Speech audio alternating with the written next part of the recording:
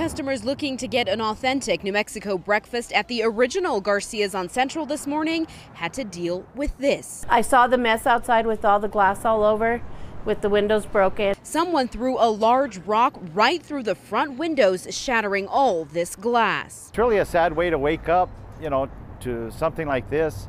Owner Dan Garcia says he got a call about the damage first thing this morning. He says it's disappointing to say the least, considering the original Garcia's has been here on Central for 34 years.